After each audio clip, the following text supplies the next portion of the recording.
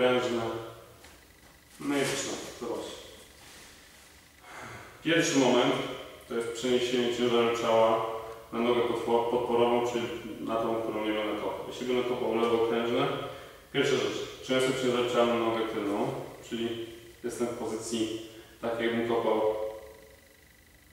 kopnięcie frontalne. W drugim momencie zmienię pozycję. Skręcę nogę podporową, podniosę kolano, ustawię się bocznie, zobaczcie. Będę się starał dać moją stopę najbliżej poszlarka. Czyli mamy raz, dwa. I teraz z tego miejsca jednocześnie skręcę stopę i wyprostuję nogę w kolanie. Oto. Zobaczcie sobie w całości. Jeszcze raz. Hop, hop. Prawa noga. Podobnie. Raz, dwa, trzy. I wracam do pozycji. Jeszcze raz.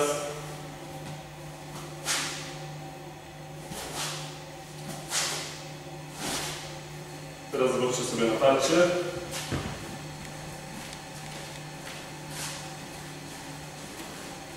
Prawa.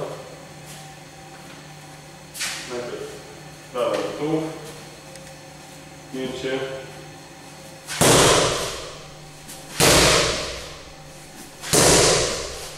W drugą stronę.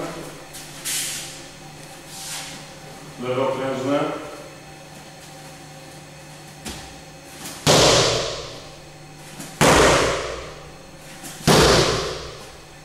Okej. Dzięki. Jakie mogą nam się tu wkraść błędy? Pierwsza rzecz to jest będę kopnięcie nogą prostą. Czyli zamiast zrobić hop, hop, to po prostu robię tak. Kopnę nogą prostą. To jest błąd. Technika raz, że wtedy za długo trwa, a dwa ma mniejszą siłę. Czyli pamiętamy o tych wszystkich poszczególnych fazach kopnięcia i podobnie jak przy kopnięciu loki nie skręcę stopy podporowej. Czyli zrobię to coś takiego. Jak skręcamy, o ile nie mieści stopy. Jeśli kopię lewą nogą, to skręcę nogę, dalej to mogę skręcić. Nawet na około powiedzmy jakieś 50-60 stopni. Zobaczcie, z tej pozycji nawet tak, żebym stał bocznie. Zobaczcie. Przy lewej nodze. Tak, jeśli kopię lewą nogą. Jeśli będę kopał prawą, mimo że jest to mocniejsze kopnięcie, nogę podporową skręcę o 90 stopni. Nie więcej, bo jeśli skręcę więcej niż 90 stopni, to stąd już bardzo mi trudno wrócić. To już jest wtedy łatwiej przejść do kopnięcia z półobrotu.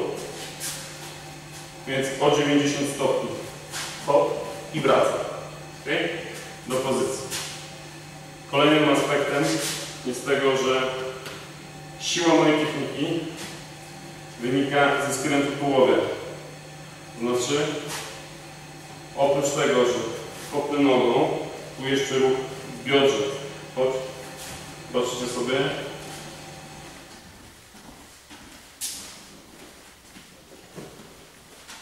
Przede wszystkim nie będę go tylko tu, to tak, tylko będę starał się tą nogę przeciągnąć. Zaraz zobaczycie. Jakbym chciał kopnąć całą nogą, to by wyglądało tak. Takie luźne, szybkie kopnięcie. Jeśli włożę całe moje ciało,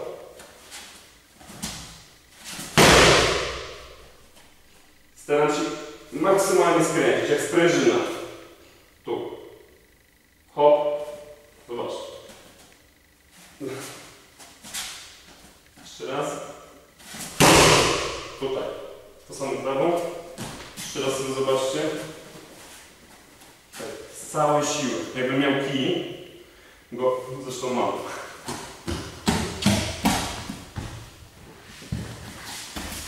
Jak kopię, zobaczcie, jak będę kopał, to nie tu, Tylko jakbym chciał wyłożyć na maksa, tak?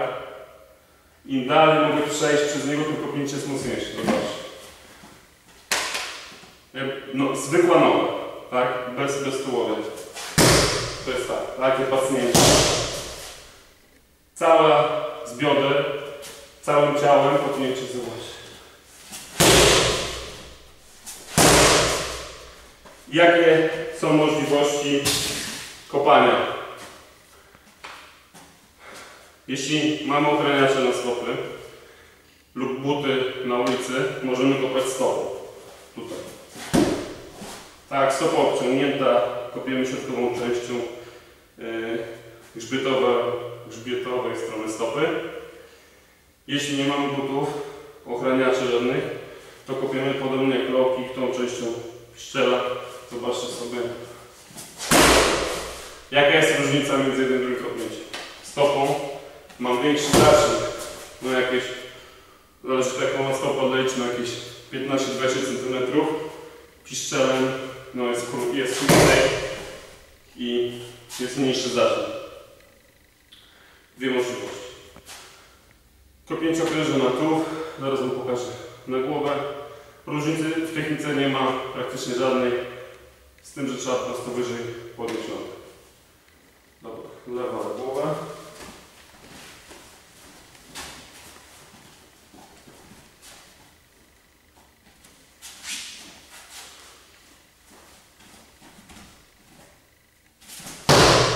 O. Prawa.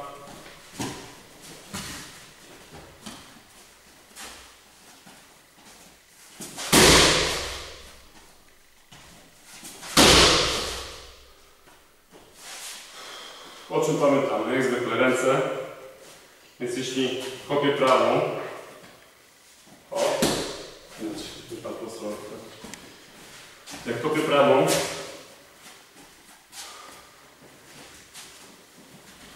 jestem praworęczny, zamieniam ręce. Lewa ręka pójdzie do gardy, a prawa nas nie interesuje. Może zostać w gardzie, może być wyrzucona, może gdzieś być tam schowana. Zobacz. Tu. Widać? Jestem, osłu- jestem zasłonięty. Jakbym mnie próbował kontrolować swoją nogą, to wtedy jestem zasłonięty. Ja kopnę na głowę, a ty na tą delikatnie. Gotowy? Jedzie. Widać? Jednocześnie. To samo jednocześnie. O. To co, dobrze? No, może tak. Tu. Tak, żebyśmy w łokieć kopnął. Wystarczy. Jeszcze raz. Czekaj. Jedzie. Widać? To samo można wykonać na głowę, nie miał ręki. Jestem skontrolowany. Do lewej nogi. To samo przy lewej. Przy lewej jest o tyle lewym okrężem, o tyle jest sytuacja prosta, że ręce muszą ustawione prawidłowo. Przednia ręka mnie nie interesuje, lewa, prawa zostaje tu, gdzie jest. Tak? O, Unikamy takich typów. Jakiś albo... Dlatego, że w każdej chwili kolega, przeciwnik może mnie skontrolować, tak? I na to. Ja kopię na głowę i mogę dostać w tuł albo też głowę. Co jest ważne przy pracy nogami? Ten skręt. Jesteśmy, jestem na takiej odległości, że bez kroku go mogę kopnąć. Skręcam stopę, zobaczcie. Jest skręt. To jest podstawa całej pracy. Jeśli będę kopał nogą prawą, to tu się skręcę. Zobaczcie sobie. Tu. Skręt nogi. To jest bardzo istotne. Bez tego ta technika nie ma sensu. Trzeba pracować nad skrętem stopy. Co daje nam, daje nam skręt? Raz, że siła, to już wiemy. A dwa, daje nam zasięg. Technika jest dłuższa. Przez to, że skręcam stopę o te kilka centymetrów, mam większy zasięg. będę mogę występować w stopniu pięciokrężnym oprócz, oprócz braku skrętu e, stopy i braku e, rotacji gorzy.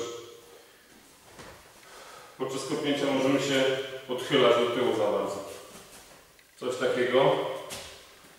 Jest to o tyle niedobre, że takie kopnięcie długo trwa i długo będziemy wracać do pozycji wyjściowej, przy czym przeciwnik obroni się wtedy nas pobije.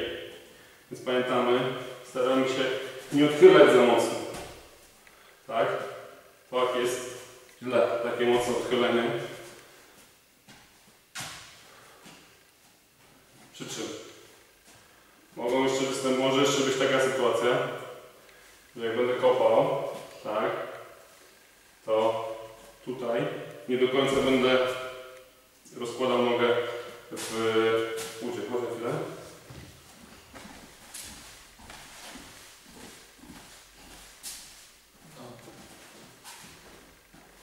Dobra, na łapę. I to. Może być taka sytuacja, że zamiast być tak w momencie kopnięcia bokiem, to będę tak. I tu tych kilku centymetrów jeszcze zabraknie, żeby kopnąć. Czyli będzie to mniej więcej wyglądało, teraz źle pokażę, o coś takiego. Tu. Skręcę się maksymalnie, zobaczcie. Tu. Maksymalnie się będę skręcać. Dać? Maksymalnie, tu. Żebym był w momencie kopnięcia bokiem. Nie tak. Frontalnie. Ok? Jake.